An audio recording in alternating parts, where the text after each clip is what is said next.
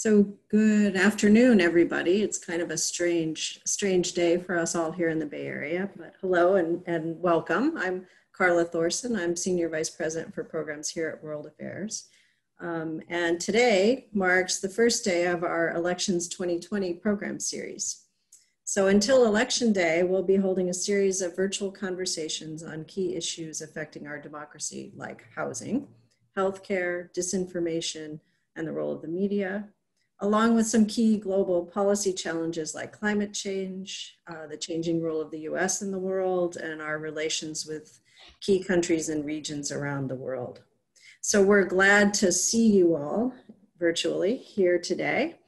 Um, and we're eager to learn more about some of the pressing issues both at home and abroad. And we hope that you'll think about these before casting your vote this November. Um, Today, we're going to be discussing one of the most pressing issues both here in the US, but particularly here in the Bay Area, and that's the housing crisis. Um, and I'm delighted to introduce our speakers today. We have Conor Dougherty of the New York Times and California's State Senator Scott Wiener. Conor Dougherty is an economics reporter at the New York Times, and he previously spent a decade in New York covering housing and the economy for the Wall Street Journal he grew up here in the Bay Area and, and lives here with his family in Oakland. And we're joined, we're delighted to be joined uh, as well by Senator Scott Wiener, who represents San Francisco and Northern San Mateo County in the California State Senate. Elected in 2016, Senator Wiener focuses extensively on housing, transportation, civil rights, criminal justice reform, clean energy, and alleviating poverty. He chairs the Senate Housing Committee and also chairs the California Legislative LGBTQ Caucus. And so, really, I'm delighted that the two of you are joining us today. And for everyone that's interested in more about this topic, please do check out Conor's new book called Golden Gates Fighting for Housing in America. So, welcome to you both. And I'm going to step out of the way because I'm not an expert on this, this topic, but both of you are. Um, and I'm going to let Conor kick off the conversation. Uh, yes, thank you. Thank you so much for having me. And um, thank you everyone for being here. Senator Wiener and I uh, have met many times over the years, and he's actually in the book. So this is a little awkward, but um, that's okay. Um, I guess, I think, um, by the way, they, they said that you focus on these things and then like listed like 25 things. I don't think you've ever focused on anything. Uh, you've been the most prolific bill writer in most of the places you've ever been, I think. Um, but anyway, so it's kind of funny because we're going to focus on housing today, but every time I talk to you, there's like 55 other things going on that we never even get to. But anyway, so maybe that'll be a future webinar. But um, yes. Well, like for instance, this year you had this your, your biggest bill this year was this uh, LGBT. Uh, uh, yeah, I um. Yes. I uh, I definitely just clear up some of that because this is you've been quite in the news lately with QAnon. So yes, I, have gone from the NIMBYs to QAnon, and um, I decided I'll take the NIMBYs over QAnon. Um, uh, and uh, and now we have. I'll show you. This is noon in San Francisco. If you can look outside of, uh, it's basically like an eclipse outside. Um, yeah. So I'm. I have a criminal justice reform bill to stop discriminating against LGBTQ young people on the sex offender registry. Uh, not the most popular issue to deal with, but it's real. And so QAnon is uh, uh, the tidal wave of QAnon is including Ted Cruz and Rush Limbaugh and Donald Trump Jr. are coming after me. Uh, so it's a, definitely a different situation than the housing fights that we've had. Yes. Well, um, I, I, guess you're somewhat used to this because the first time I ever met you, you were you, there was a Fox News clip when you were at the San Francisco Board of Supervisors that had come after you. Anyway, so keeping with I think I went after them, and then they oh, came yes, back Well, they, so it was it was mutual to talk to them, if I recall. Um, so I guess kind of keeping on the election theme for a moment uh, for this series, one question I wanted to ask, open-ended question. Um, what is the most consequential election you think right now for housing? And I'm asking you this question assuming that many of our of the people watching either aren't in California or at least aren't in San Francisco. So if you're concerned about housing, what is the most consequential election for you if right now or uh, in November? Well, I'm going to have to give a nuanced answer, Conor. I'm sorry. Um, uh, by the way, Conor lives in Oakland now, but he used to, he grew up right down the street from where I live. So yes. we're, we were former neighbors and then we gentrified him out of the city. So I'm sorry, Conor. Um, no problem. I, I believe so, I was in district, but anyway. You were right in the district. My dad um, is. Exactly.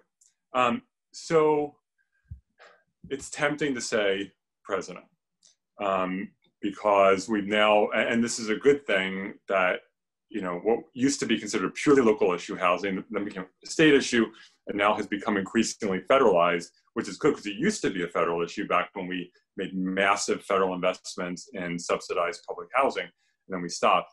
Uh, and we've seen um, in Democratic primary, and this was just music to my ears, the fact that you had they were all putting out housing platforms, and you had Elizabeth Warren, Warren and Bernie Sanders and uh, Cory Booker and uh, and Castro and uh, you know everyone putting out platforms on zoning reform, this like nerdy thing called zoning reform and streamlining, and it it, be, it was a um, uh, it, it, was it was great that they were debating it. Uh, and the federal government does have a role to play, particularly in providing more funding for affordable housing. Um, but the, the most important elections for the future of housing are your city council members and your mayors, uh, and really making sure that people know who they're voting for and understand if their local elected officials actually support people having access to housing. Uh, and um, so that's the most important. I think a close second are your state legislative elections because we've seen more and more in California, for example, more and more pro housing state legislators, uh, but we need even more. Uh, so I would say it goes in reverse order. The, the city council and mayor races are the most important. How do you think the national election will affect any of this? Um, we've seen a lot of of conversation about it. There's a lot of, as you said, tone stuff. You know, there's uh, Trump has gotten rid of this affirmatively furthering fair housing uh, HUD rule, which is like this wonky thing. It can be important, but it doesn't have to be important. You know, you know. So, how do you think the national election I guess just yeah. broadly about this, you know, because I don't think we're going to get some giant housing bill that will change everything, but the tone, I don't know, how do you, what role do you see it playing? Well, I think it, it's going to have positive and negative. Uh, what I've found in housing policy, at least at the state level, um, the dynamics, it's been very not partisan, right? There are, there are times when you know, super left-wing Democrats and super right-wing Republicans are aligned in favor of uh, making it easier to build more housing, and super left-wing Democrats and right-wing Republicans are aligned against it. And it was more a factor of what kind of district do they represent. Um, if you're a if, if you represent a coastal wealthy uh, community, you know whether you're Republican or Democrat, you're going to have some challenges around NIMBYism. And so in, in the housing, in the hard housing work that I've done, I've been able to get a fair amount of Republican support and liberal Democratic support. It's been very, very not based on parties. My concern is that we're going to start seeing more partisanship around housing um, because, you know, as I mentioned, uh, we had presidential candidates um, taking on these, you know, or uh, adopting strong pro-housing platforms, which is great when I have some progressive critics um, who criticize my work around zoning, and I just say I'm aligned with Elizabeth Warren and Bernie Sanders and, and, others. But the fact that Donald Trump uh, decided to become the NIMBY in chief this year, which is different. Presidential administrations have, all, have, including Obama and then Trump, had put out fairly pro-housing um, documents about needing to have zoning reform, et cetera, et cetera. Um, and and, that, and and what Trump and Ben Carson put out was very similar to what Obama um, had had put out. Just um, a year ago. So what you're referring to is just a year ago. A year ago. And Ben Carson. Yeah. Ben Carson came to San Francisco and toured public housing and said, you have to reform the zoning. You have to, you know, so it was, it, there, it was not, again, it was not a particularly partisan issue. But now that Trump is, you know, God willing, in his death spiral uh, as president, not physically, I would never wish death on anyone, but his political death spiral, he is so desperate and he's losing the suburbs. And so he has gone on these rants on Twitter and elsewhere about, you know, Joe Biden wants to end the suburbs by forcing black people and or forcing you to allow black people and poor people to live in your community by building multi-unit housing and ending single-family home zoning and super racist. Everything that every every word that comes out of his mouth about this and many other things, but it is um, uh, unfortunately potentially shifting the part, making it a more of a partisan issue that Republicans will have less space to support things like ending single family home zoning because Trump has riled his base uh, and, and, it just makes life harder for Republicans who, who get it. So my concern is that the national dynamic could be making housing more of a partisan issue, which it isn't. It should, and it should never be a partisan issue. Yeah, I. It's interesting to hear you say that um, because I've always relished uh, housing being, a, a, as you say, uh, well, I guess I would say it's a very partisan issue, but it's not a partisan issue in the way we define red and blue currently, right? You know, obviously there's when when you say NIMBY versus YIMBY, that's partisan, but it's a different kind of partisanship. Right. Well, yeah, it's and you have you have you know there are some Democrats who or Democrats who in California who make the same exact arguments, maybe in a more polished way than what Donald as what Donald Trump is saying. Um, there are some very partisan issues on housing uh, when you move away from production. So funding, um, you have you know Republicans are much less likely to support government involvement in subsidizing housing affordability um, uh, and also renter protections. Um, trying to you know stabilize renters and have some level of rent control or eviction protections, that becomes a very partisan issue. Mm-hmm. So um, have you? It's fun, but it's it's interesting to hear you say this because I hadn't really thought about. Um, I'd obviously noticed that Trump I covered in Carson when he came out here. So I was sitting there with my notebook at the public housing complex, and it was, it was a strange. Honestly, as a reporter, it was a strange thing for me because he's sitting there saying he literally said. I mean, I have it like in a recorder. I went and looked it up the other day in a transcript. He literally said we should make it uh, uh, illegal to refuse public housing or uh, uh Section Eight vouchers, which I was like, wow. You know, he was complaining about NIMBYs, as you say and he was touring this public housing complex saying, look how nice this is. People think this will look horrible in their neighborhood, but I'm here to say how wonderful, you know.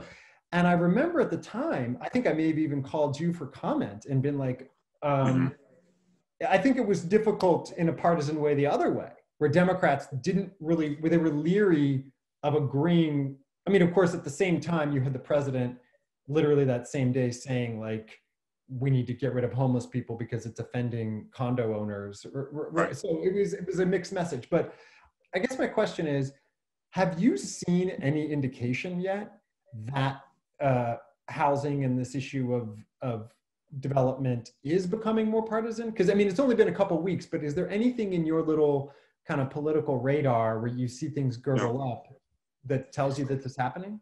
Um, so when you look at uh, some we had a i'm sure you'll get to this a very not good housing year in the california legislature for many different reasons. Um, but republicans were still voting for these bills this year. Um, and so we were so the republicans that had been pro-housing before were still voting that way. So it, it does not seem to have trickled um, down from the white house to you know um, to, to at least to our capital. I'm I'm praying that that will not change because you know again I'm a super lefty Democrat San Francisco, but on how on there are a, a number of issues in our that we deal with that are not partisan, and there's more working across the aisle in the California legislature than I think we see in Congress.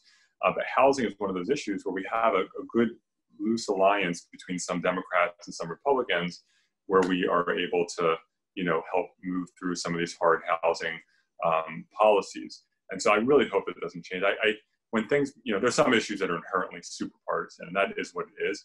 But I hate it when issues that are really just about the basics of life somehow become partisan. We've seen what has happened with COVID becoming partisan. It's just it's it's just astounding, and it's so depressing that basic science would become uh, uh, partisan. I don't want that to happen with other issues that have no business being partisan.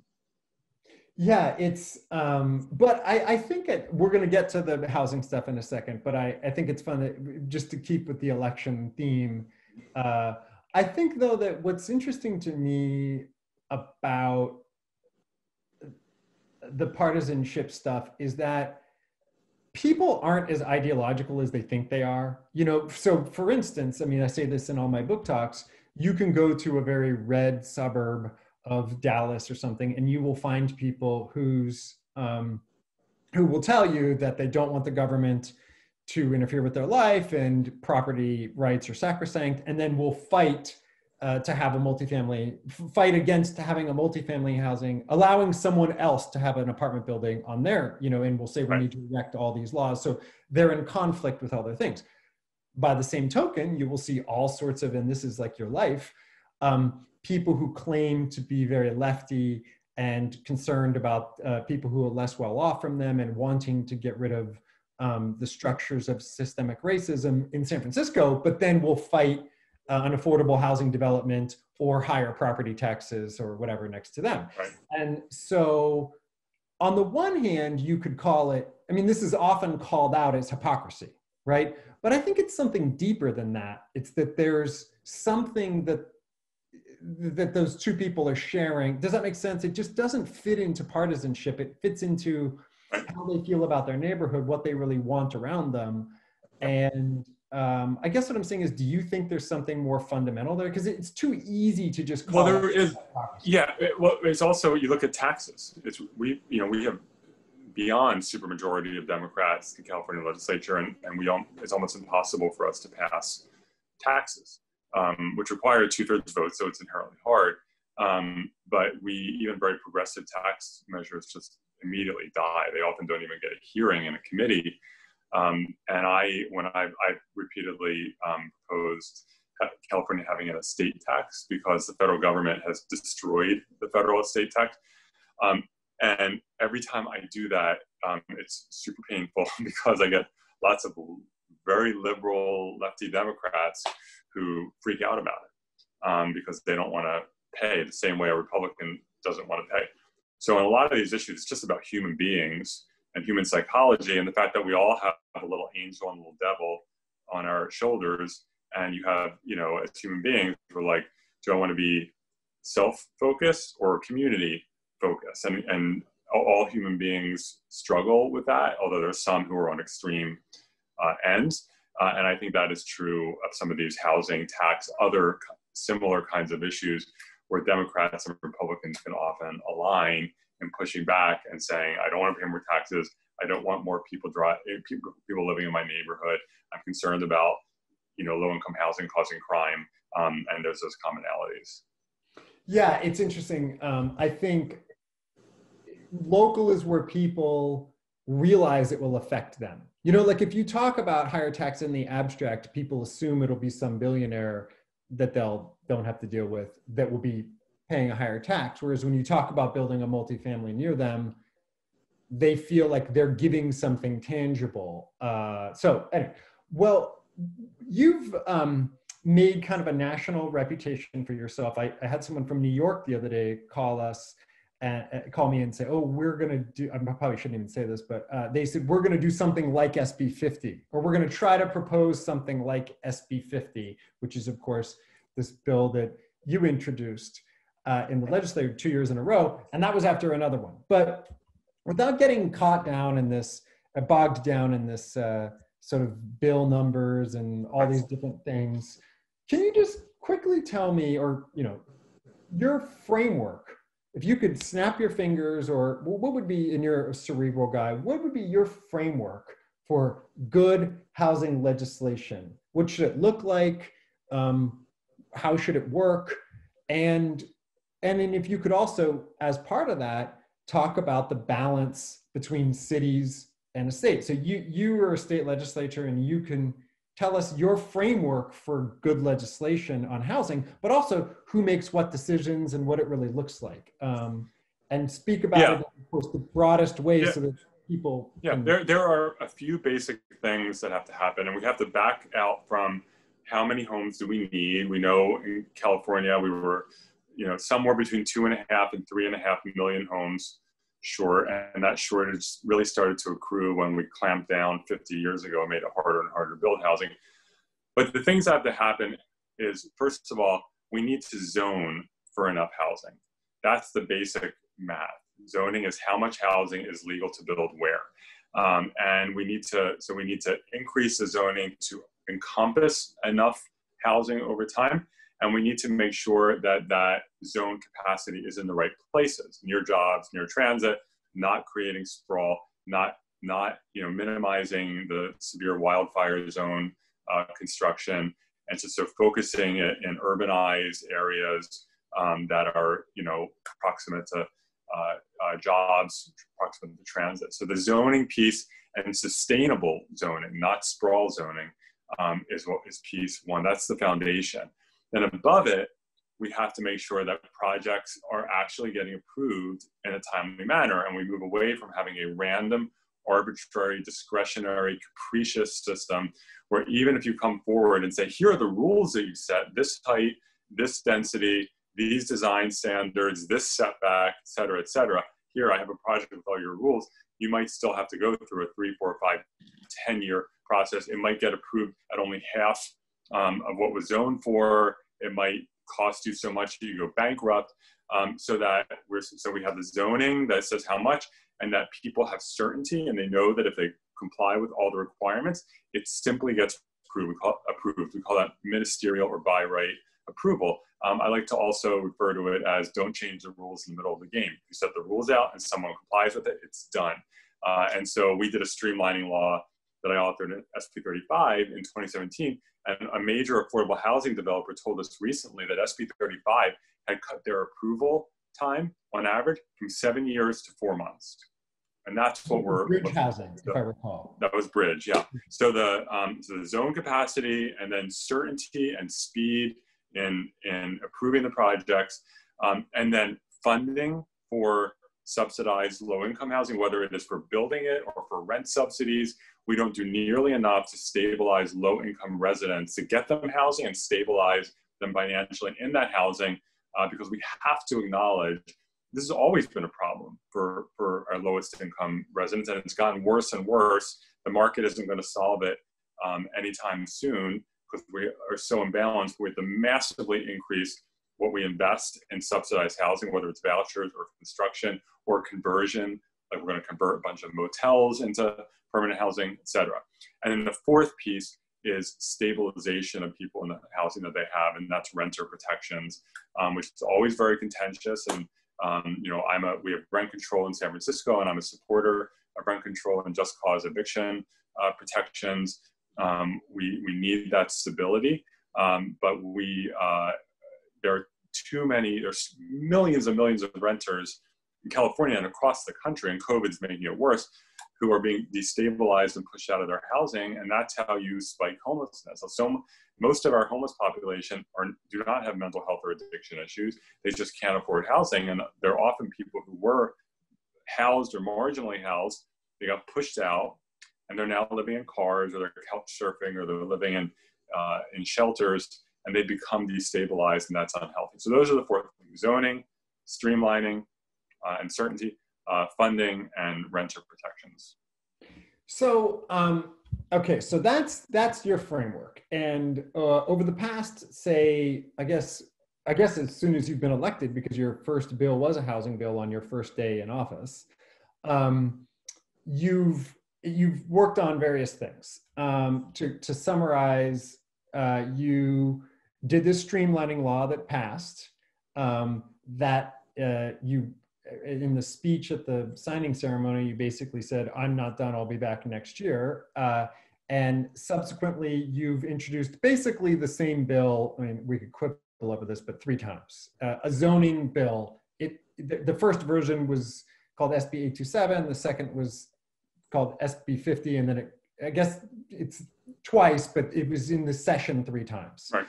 And um, the basic gist of this bill was that you would make it possible to build four-story apartment buildings uh, within a mile of public transit. And there were debates over buses versus trains and whatever, but generally speaking, that was the bill. Okay, so, and it felt like that bill came relatively close to passing.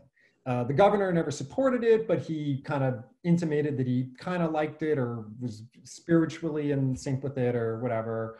Um, uh, it lost by one vote or two votes, or but it was very, you know, it was like felt like down to the wire.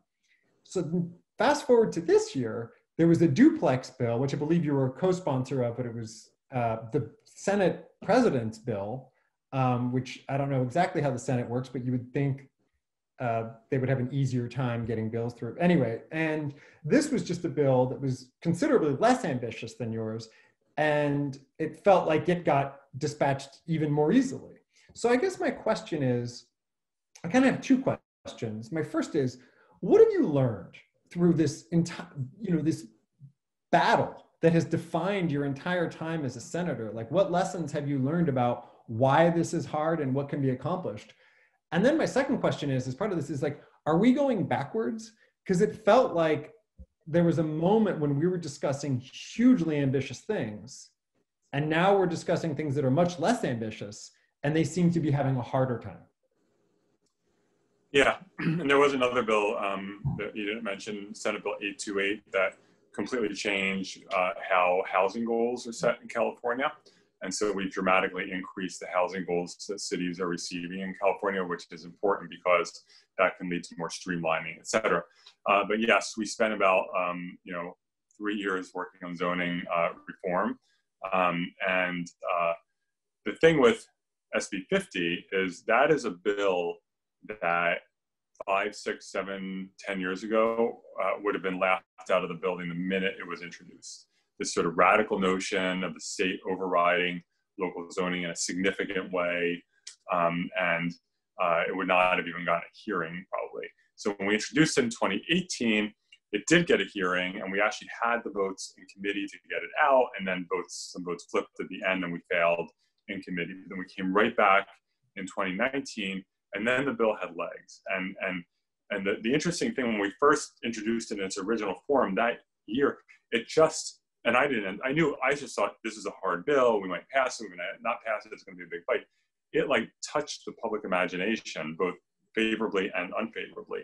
It got like that bill, the amount of discussion it just seeped into the public consciousness in a way that I never anticipated, where people were like, "Oh yeah, I was. I came back. I was at my you know Thanksgiving dinner in San Bernardino County, and my parents raised it. Um, it was it was eh, Eh, very positive, I think, whether people hated it or loved it, that it really elevated the discussion to force people to talk about housing and to force people to talk about, hey, when we say housing is too expensive, when I say my kid's not going to be able to afford to live here, when I say I'm worried about homelessness, when I say that I want to move into a place for my growing family, but I can't afford it, when I say these things, am I just complaining and being mad and you know talking smack on social media, or do we actually want to do something about it? And here's something that's not a silver bullet or the global solution, but a meaningful step towards addressing a big piece of the problem.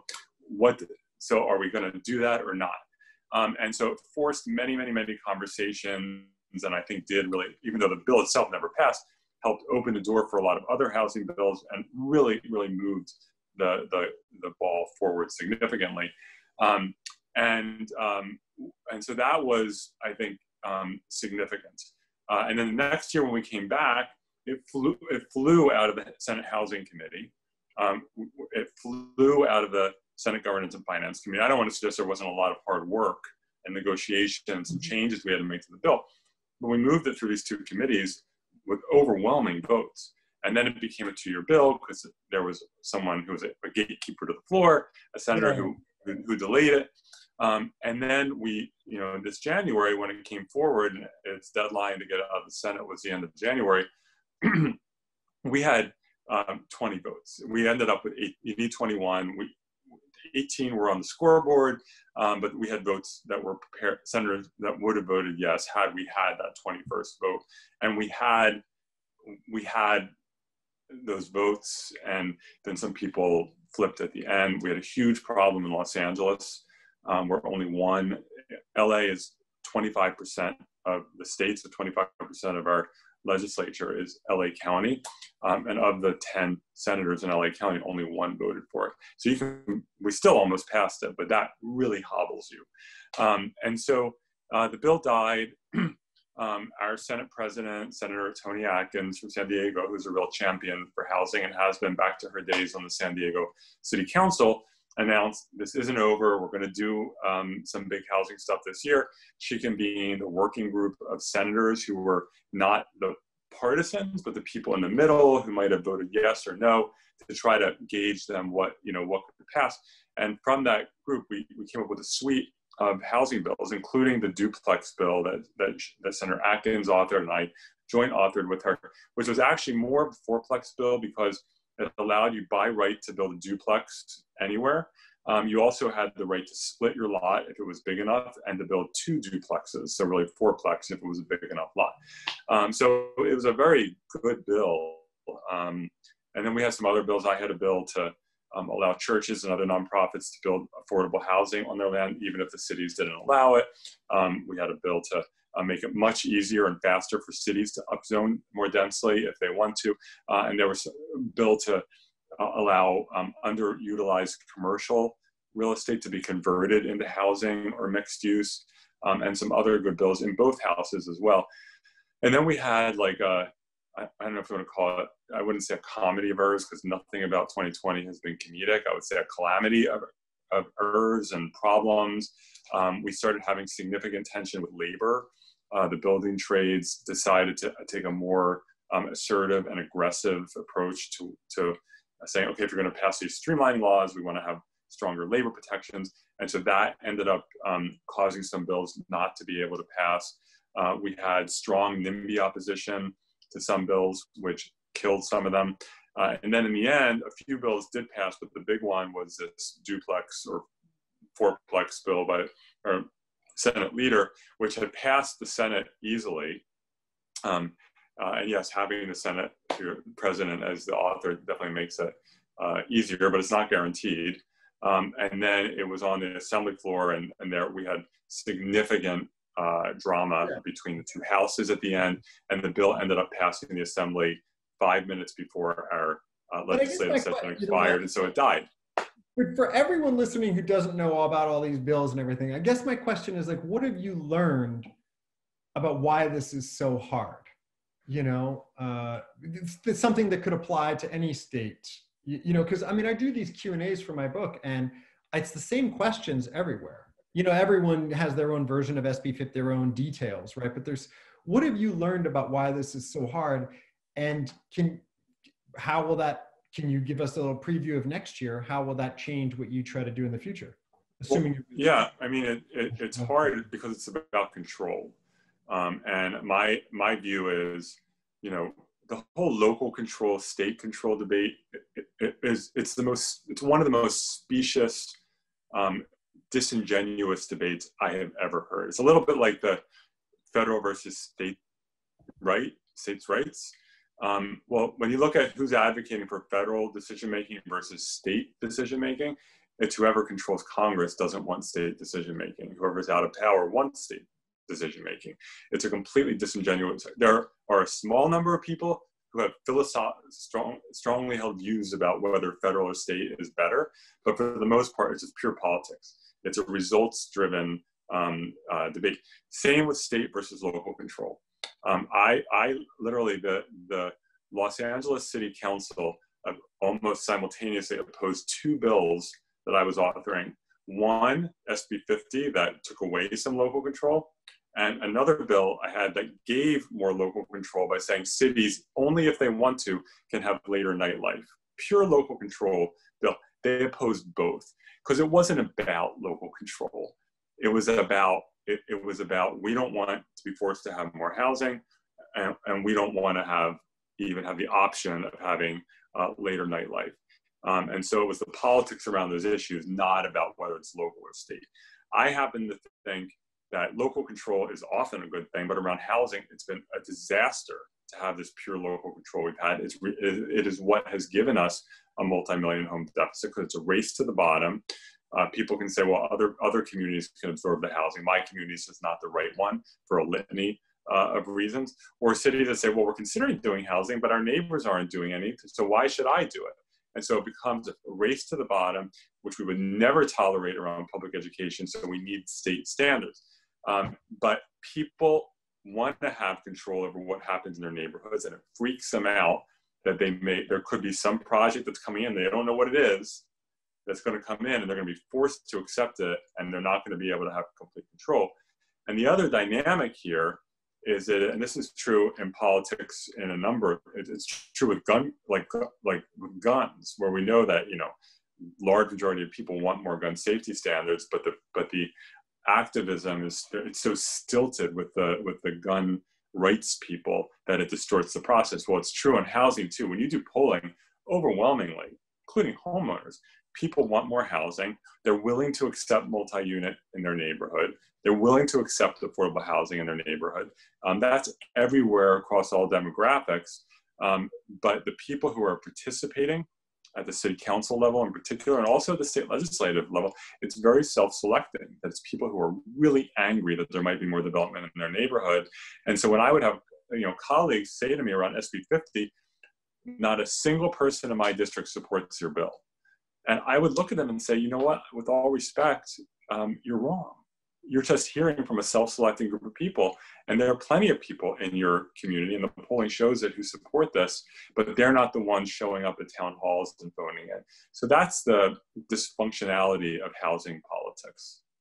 I guess one question i have and this is this is uh, like a great many people in quarantine uh, according to twitter i decided to finally read the power broker uh, you know which is this famous book about new york city and this guy Robert Moses, for those of you who haven't heard of it, who just kind of totally redeveloped New York City in ways that are, uh, you know, much maligned.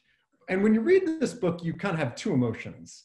One is, uh, oh my God, I'm so disappointed that this person is just building freeways everywhere, and no matter how much of a failure the freeways are, he won't invest in other things. He just won't listen to anyone about anything.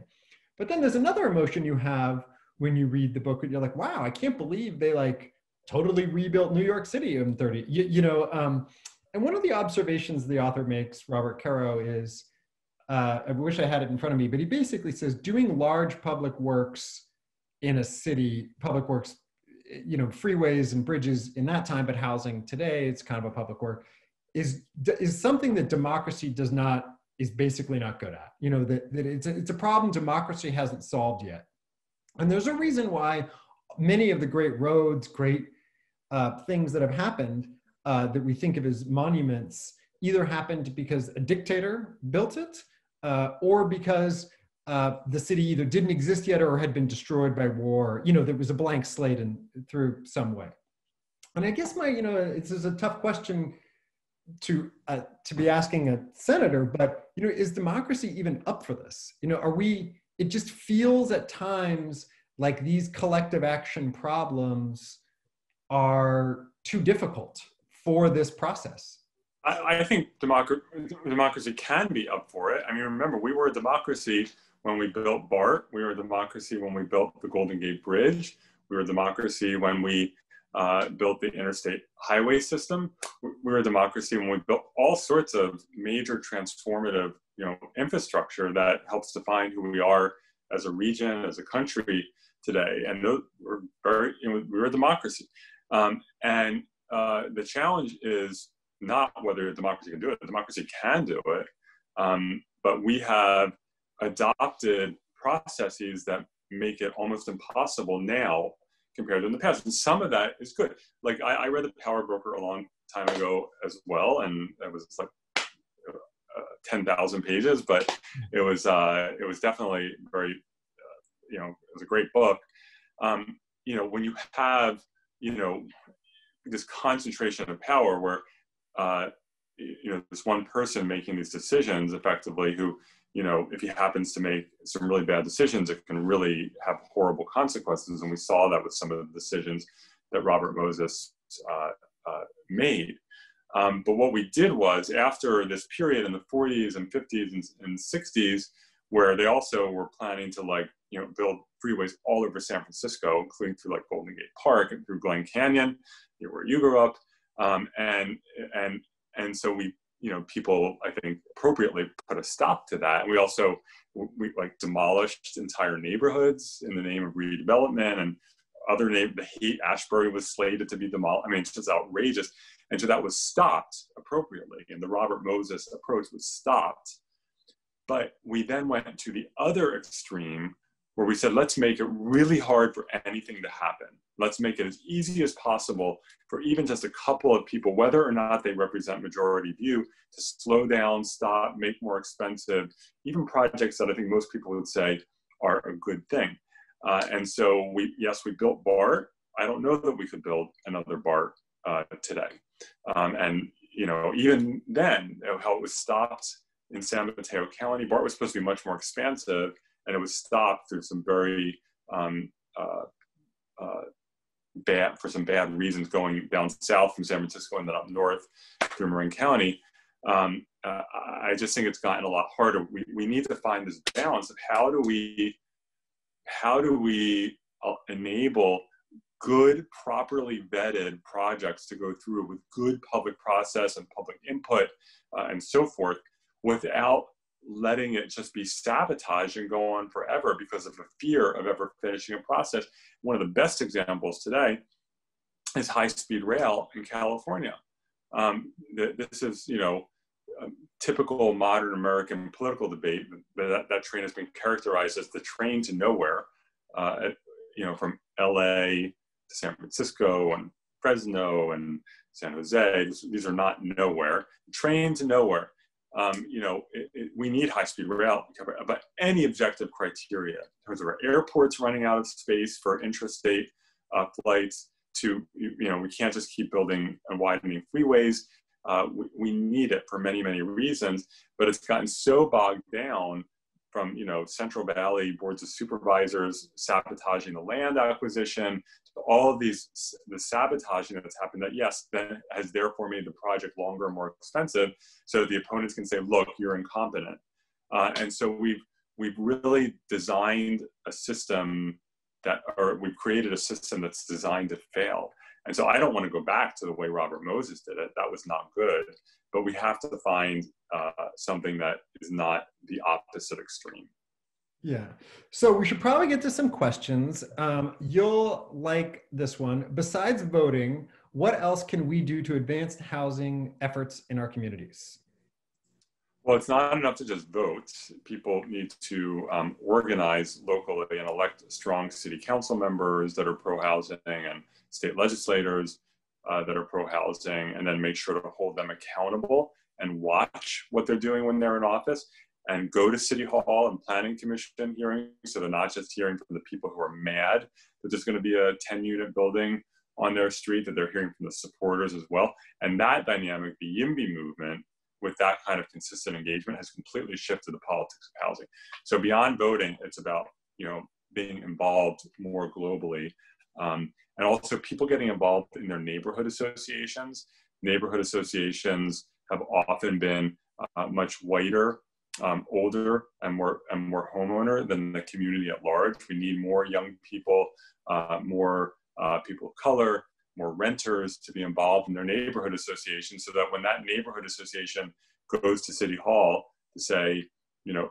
the the Noe Valley, uh, you know, there's a um, something called the Noe Valley, um, what's it called, the Count, Noe Valley Council or something, a super uber NIMBY group in Noe Valley, but they go to City Hall and they say, you know, we speak for Noe Valley, we're the neighborhood group. Well, no, you don't represent the diversity of the community. And so we want more people to get involved in these neighborhood groups.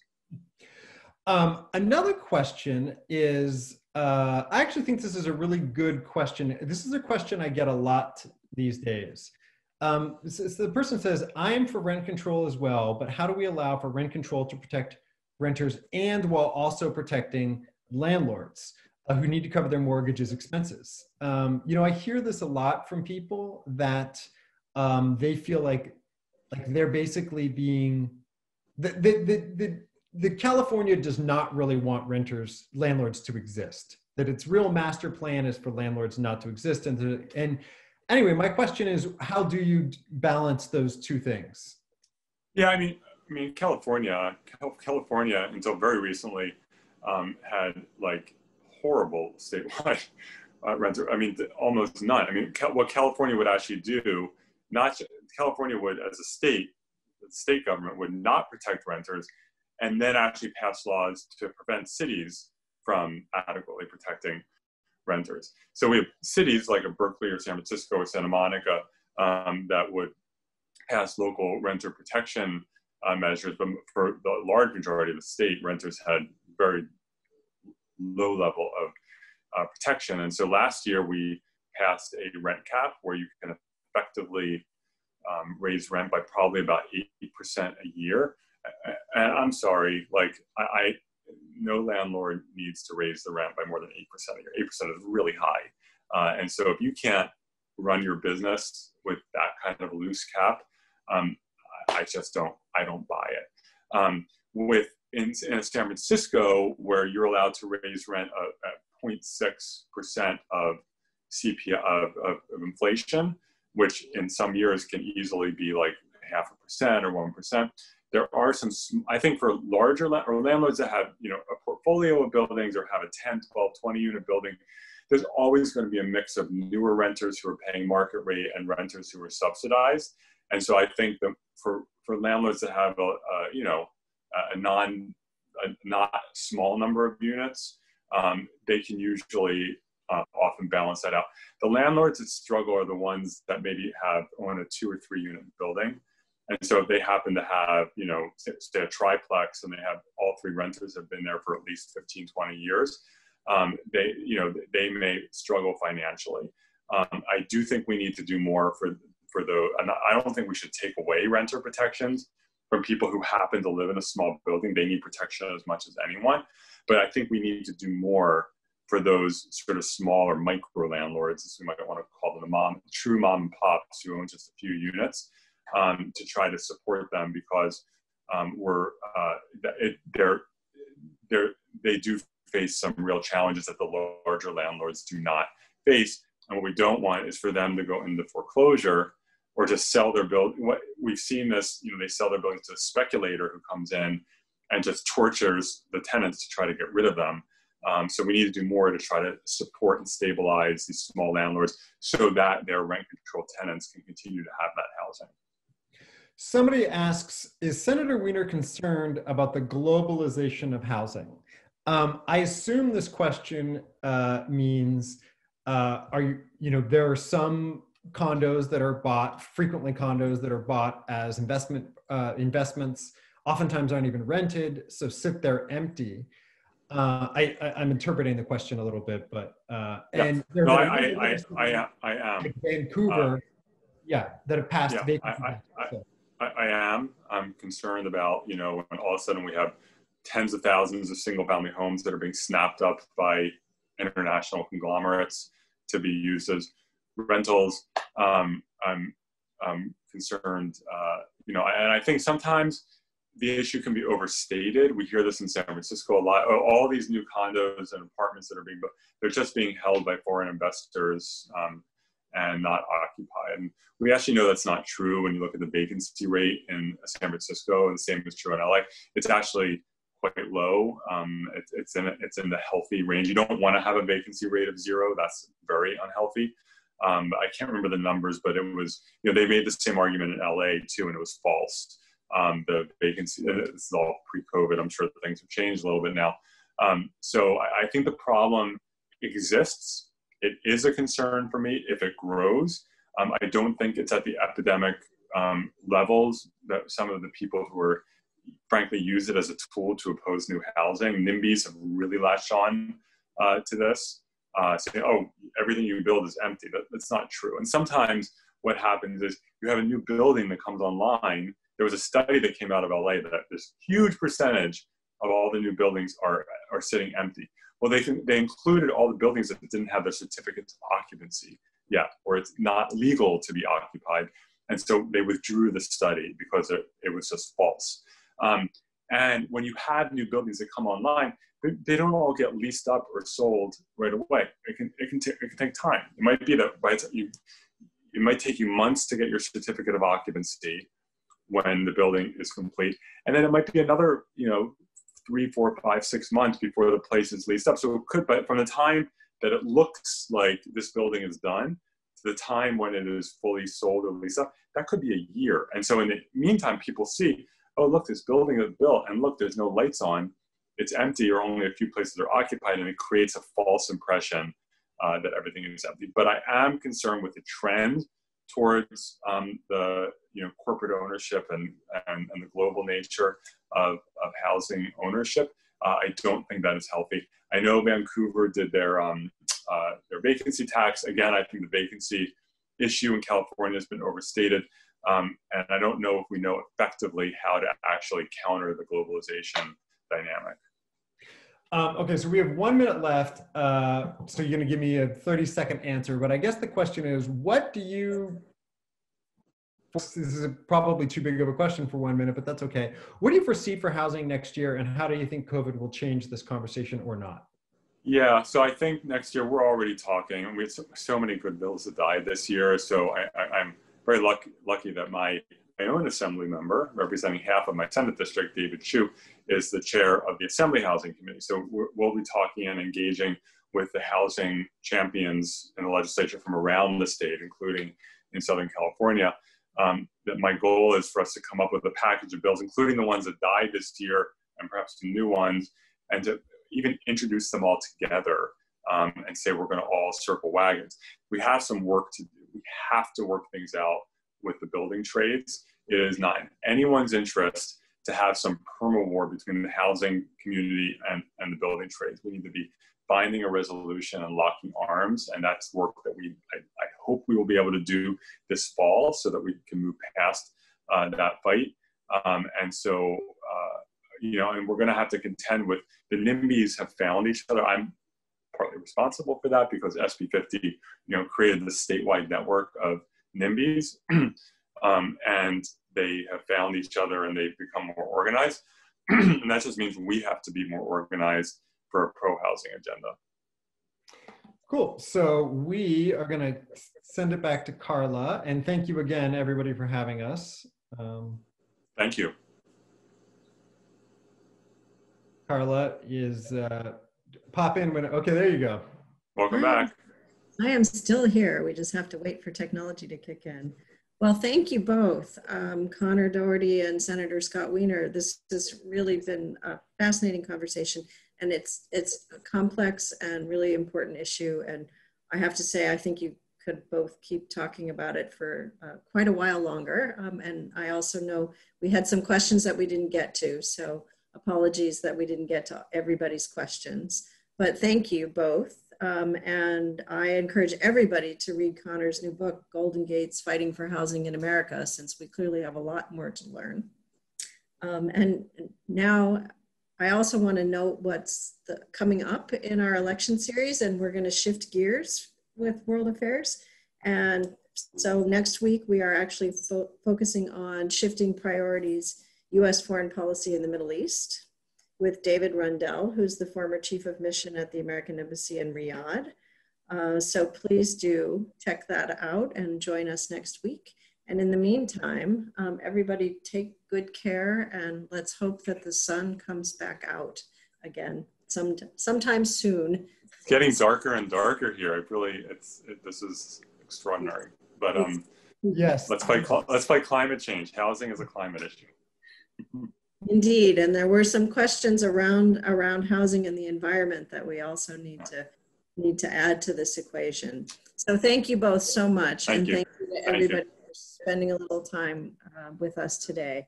And we thank will you. see you again soon. Thank you. Bye, everyone. thank everyone. You so much.